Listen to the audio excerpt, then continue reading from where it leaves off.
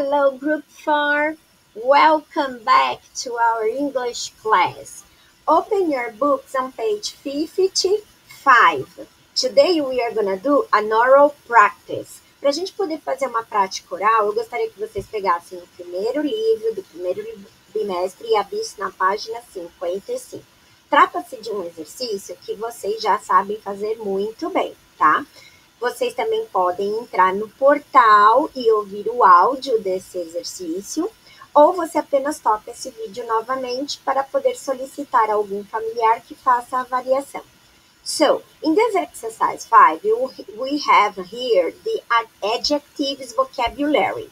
We are gonna repeat after me. You are gonna repeat after me, okay?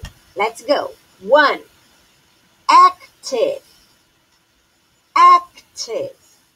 Two, brave. Brave.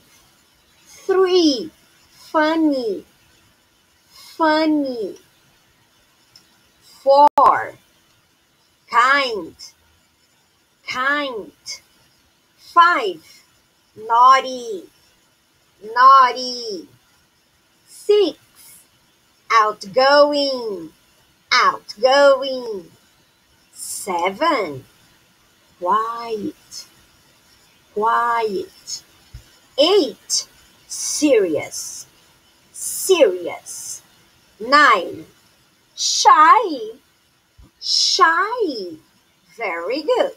Agora você vai procurar um parente da sua família. Can be your mom, your dad, your big brother, your big sis, ok?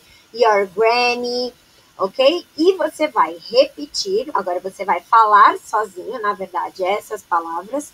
Eles vão ouvir e eles precisam te avaliar circulando uma dessas carinhas aqui, ok? So, practice again, look for a relative, and good luck. Bye, guys. See you next class.